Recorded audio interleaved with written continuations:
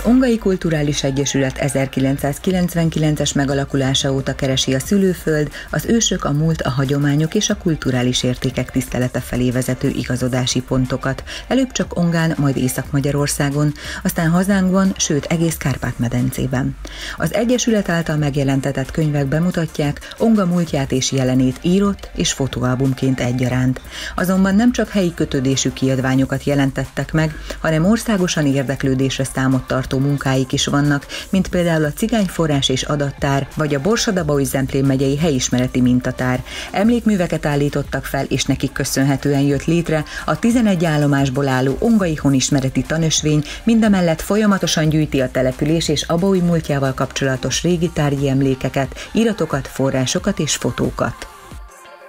Amikor a pálinkáról beszélünk, ha már tudjuk, hogy hungarikumnak számít, még sincs megfelelően kiemelve, ez első olyan komolyabb múzeum, amit az országban létrehoznak, azok ti vagytok, de még ne szaladjunk ennyire előre. Kezdjünk el beszélgetni magáról az Egyesületről. Mikor kezdtétek el az Egyesületi munkát, és um, Ongán egyáltalán mi az a kultúra, amivel foglalkoztatok? Hát valamikor 1999. februárjában alakult meg az Egyesület, tehát több mint 20 évvel ezelőtt,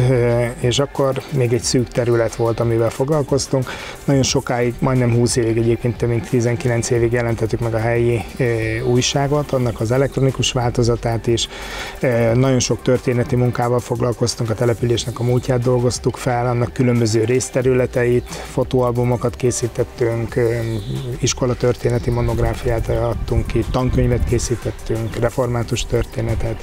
és itt tovább ezt hosszan sorolhatnánk. Van egy másik terület, ami ugye láthatóbbá teszi, nagyon több olyan dombormű vagy emlékmű is fűződik az Egyesületnek a nevéhez. A mi kezdeményezésünkre vagy az anyagi támogatásával készült el a Görgei dombormű az iskolában, az Ongaiak Ongáért dombormű, akkor egy onganéveredett emlékmű a a Darvas Közösségi Jelzés Múzeumnak az udvarán, de például a zsidó, második világháború zsidó áldozatoknak emléktábláját is mi állítottuk fel, e, és innentől kezdve még hosszan sorolhatnám azokat a kulturális e, területeket a koncertektől a legkülönbözőbb kézműves foglalkozásokon át, amivel az Egyesület foglalkozik. E, az utóbbi, mondjuk így, mondjuk 11 évben viszont két terület, ami még nagyon megerősödött, az egyik ugye egy ilyen helytörténeti múzeumhoz kötődően egy közösségi teret alakítottunk ki, ez a Darvas Közösségi Jelzés és Múzeum. Annak a, az alapjait még 2007-ben kezdtük el, aztán 2010-ben készült el az első nátfedeles ugye, épületünk, három év alatt tudtuk felújítani. Az átadásra került, és utána ez a terület ez tovább bővült másik ingatlant is, azóta már még egy harmadikat is megszereztünk, megvásároltunk, és a, azon részben ilyen gyümölcsfeldolgozó központot, aszalót, gyümölcsfeldolgozásra alkalmas gépeket szereztünk be és működtetünk, illetve egy pálinka múzeumot kezdtünk kialakítani, amelynek a, az átadása az hamarosan majd megvalósul. Ami még nagyon izgalmas és nagy közönség számára is jó lehet, most már az ötödik éve üzemeltetünk egy olyan termelői piacot, ahol nem csak az itteniek, az ongaiak, hanem a környéken lévő őstermelőkből jó néhány el tud jönni. Ezek évente ilyen 5-6 alkalommal kerülnek megrendezésre, de ami egyedivé teszi, hogy mindig valamilyen kulturális program, gyerekprogram kapcsolódik hozzá. Tehát igazából a közösségi élet az, ami izgalmasabb és érdekesebb ezen a területen. Nem pusztán az, hogy most ugye mit termelői piacként ugye különböző helyi termékekhez hozzá lehet jutni.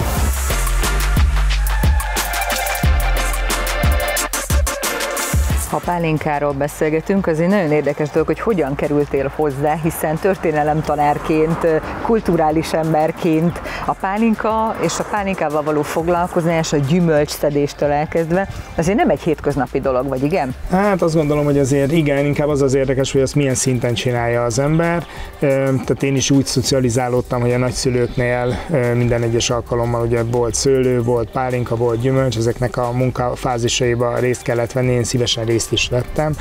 és hát abban az időszakban, amikor még ugye nem az a fajta prémium és, és minőségi pálinkák készültek, eh, mint ami azért most már egyre nagyobb területen, eh, akkor is egy kicsivel jobban próbáltam készíteni az adott körülményekhez képest, mint bérfőzeti adott esetben a pálinkát, és hát valamikor 2007 környékén jutott az ember oda, hogy én is úgy gondoltam, hogy az általam készített termék az olyan jó, hogy azt más is el kell, hogy ismerje, eh, és akkor a Gyulai akkori országos pálinka verseny versenyre volt szerencsém nevezni, és hát lebírálták a terméket, de nem kapott egy jó értékelést. Magyarul lehúzták, hogy hát ez nem volt olyan jó. Természetesen én is, mint sokan egyébként ebben az helyzetben megsértődtem, és úgy gondoltam, hogy hát ők, bocsánat, de ők hülyék nem értenek hozzá. Aztán amikor egy kicsit utána mentem és átgondoltam, és elkezdtem ezzel foglalkozni komolyabban, akkor rájöttem, hogy nem én vagyok a, nálam van a probléma, nem pedig ott. És akkor volt az, hogy a, az egyik barátommal fogadtunk, konkrétan egyébként stílszerűen 10 liter pálinkába, aki azt mondta, hogy mi a francot keresünk mi itt egy országos versenyen, úgyse fognak sose kiírni, hát hol tudunk mi irányított terjesztést, olyan technikát, meg olyan eszközöket labba vetni, amivel ők ugye jó eredményeket tudnak elérni, és akkor azt mondta, hogy 5 éven belül, ha egyszer kihívnak az országos versenyre érdemesként, akkor, akkor én győzök, ha nem, akkor én fogok 10 liter pálinkát fizetni neki. Ez egy jó egyébként, tényleg jó, jó motiváció. motiváció volt, és ez azzal járt együtt, hogy következő éven egyébként egy bronzérmes tételem volt, ezzel meg is nyertem a pálinkát, és onnantól kezdve viszont nagyon komolyan belefetszeltem az időt, energiát és a pénzt is, hogy amit csak lehet mindenütt, mindenhova elmentem, ami a pálinkával kapcsolatos oktatásra, a tanulmányra, különböző tanulmányutakra lehetőség volt. Már 2010-ben az akkori megyei múzeum igazgató Veres László barátunknak a tanácsára elkezdtük gyűjteni a pálinkás poharakat, mondván azt mondja, hogy miért nem kezditek el azt, hogy ilyen gyűjtemény ugye ilyen szinten nincs, és utána ez kiegészült a pálinka kultúrtörténetének minden egyes más elemével. Tehát a különböző tárgyi emlékek mellett a különböző forrásokat is gyűjtjük.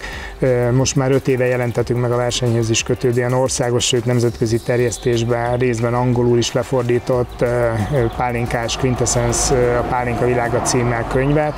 amiben mindig vannak olyan tanulmányok is, ami a jövőrehez kapcsolódik, és egy kicsit a történeti múltat is bemutatják, és a jelennek az értékeit is meg lehet tekinteni. Ez egy elég izgalmas és jó dolog, és ehhez képest ugye most már a, a tárgyi kultúrának a, a bemutatása is egy izgalmasabb tör, fázisba jut, mert augusztus 15-én átadnánk a Pálinka Múzeumot, ahogy az elején még kérdezted, ebből azért olyan sok nincsen az országban, illetve talán olyan nincs, ahol ennyire ömlesztve mindenből meg tudunk mutatni egy kicsit. Vannak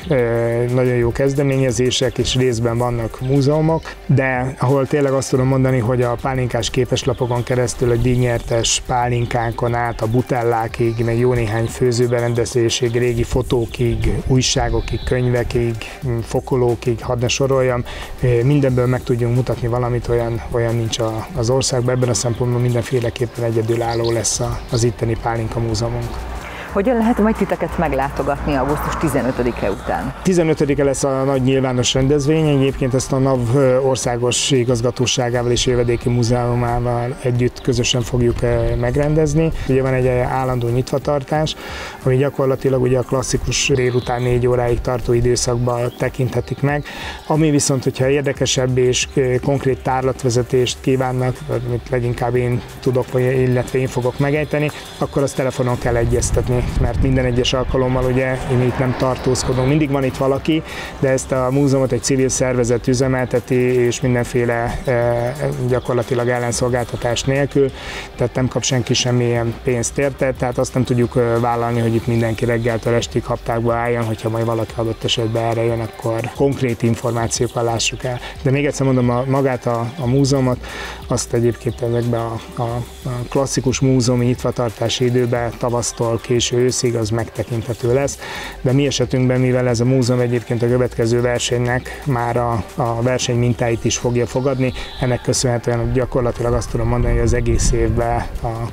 a klasszikus munkaidőben meglátogatható lesz. Hogyan jött egyáltalán az ötlet, hogy itt ezen az udvaron ilyen pálinkaházat ezekkel az erekékkel készítsetek?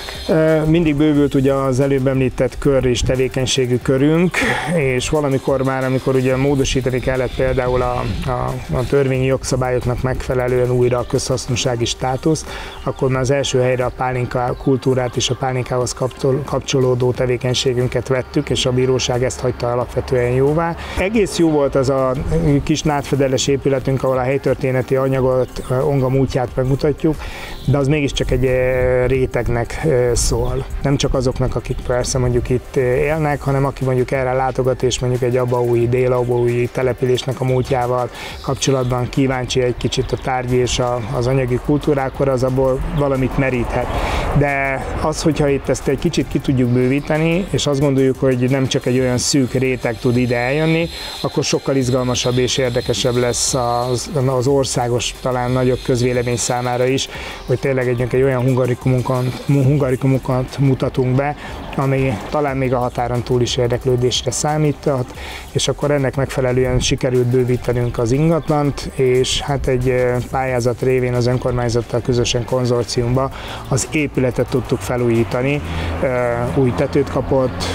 új nyilázárókat, tehát az alapszükségleteket azokat meg tudtuk készíteni, ez tavaly augusztusra készült el, és azóta egy éve dolgozunk azon, hogy, hogy a kiállítás is olyan szintével váljon, hogy ezt a nagy közönség számára is meg tudjuk mutatni.